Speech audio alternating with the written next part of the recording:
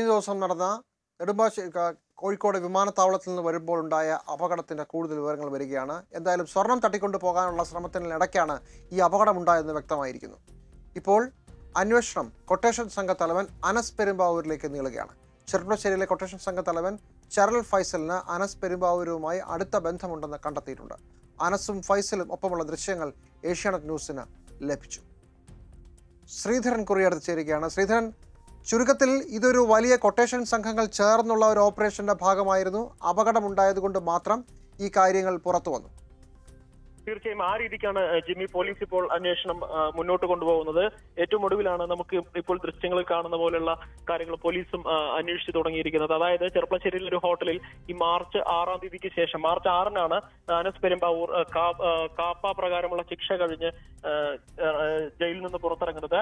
ആറ് മാസം തടവ് കഴിഞ്ഞ് പുറത്തിറങ്ങുന്നത്. അയാൾക്ക് എറണാകുളം ജില്ലയിൽ പ്രവേശന വിലക്കുണ്ട്. തുടർന്നാണ് ഇയാളെ ആ, ചെർപ്പളശ്ശേരിയിൽ എത്തിച്ച് താമസിപ്പിക്കാനുള്ള സൗകര്യങ്ങളെല്ലാം ഒരുക്കി കൊടുത്തത് ചരൽ ചരൽ ഫൈസലാണെന്നാണ് പോലീസ് പറയുന്നത്. നമുക്ക് ആ ദൃശ്യങ്ങളിൽ നിന്ന് തന്നെ കാണാൻ സാധിക്കും.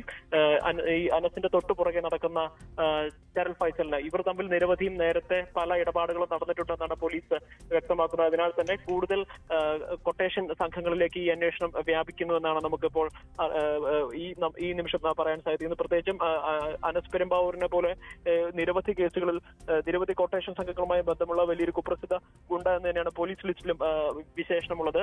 ഇത്തരം വലിയ സംഘങ്ങളുമായി ചരൽ ഫൈസൽ ഉൾപ്പെടെയുള്ള പെരും ചെർപ്പളശ്ശേരിയിലെ സംഘങ്ങൾക്ക് ബന്ധമുള്ളത് വലിയ ഞെട്ടിക്കുന്ന ഒരു സംഭവമായി തന്നെയാണ് ഈ നാടും കാണുന്നത്. പ്രത്യേകിച്ചും നേരത്തെയും നിരവധി തവണ വസ്ത്രധാരിയായ വെള്ളയും വെള്ളയും ധരിച്ചിരിക്കുന്ന ആളാണ് ദൃശ്യങ്ങൾ കാണുന്ന ആളാണ് അനസ് അല്ലെ? അതെ അതെ തീർച്ചയായിട്ടും.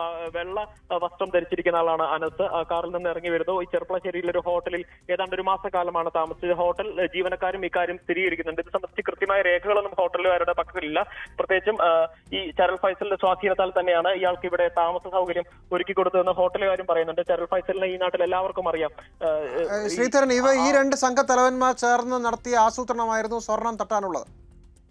ആ രീതിയിലേക്കുമാണ് ഇപ്പോൾ അന്വേഷണം പോയിക്കൊണ്ടിരിക്കുന്നത്. കാരണം ഇതുവരെ ആദ്യമായി തുടങ്ങിയ ഒരു ഇടപാടല്ല. പ്രത്യേകിച്ചും സ്വർണം കടത്തുന്ന ആളുകളിൽ നിന്ന് അവരെ ആക്രമിച്ച് സ്വർണം തട്ടിയെടുക്കുന്ന വലിയ സംഘങ്ങൾ. നേരത്തെയും തൃശൂർ കോടാലി ഭാഗത്ത് ഈ രീതിയിലുള്ള പരിപാടികൾ ഉണ്ടായിരുന്നു കൊഴപ്പണങ്ങളായിരുന്നു കൊഴപ്പണ സംഘങ്ങളായിരുന്നു ഇവരുടെ ലക്ഷ്യത്തിലുണ്ടായിരുന്നെങ്കിൽ ഈ സംഘങ്ങളുടെ പ്രത്യേക ഓപ്പറേഷൻ ഈ കുഴപ്പത്തിനൊപ്പം സ്വർണം തന്നെയാണ്. എയർപോർട്ട് കേന്ദ്രീകരിച്ച് സ്വർണം കടത്തുന്ന ആൾക്കാരെ ആക്രമിച്ച് അവരിൽ നിന്ന് സ്വർണം തട്ടുന്ന ഒരു ഇടപാടാണ് ഇവരിൽ നിന്ന് ഉണ്ടാവുന്നത്. ഈ രീതിയിലാണ് ഇപ്പോൾ ഈ കഴിഞ്ഞ ദിവസം നടന്ന ഓപ്പറേഷനെ കുറിച്ചും പോലീസിന്റെ അന്വേഷണം പുരോഗമിക്കുന്നത് ജിമ്മി.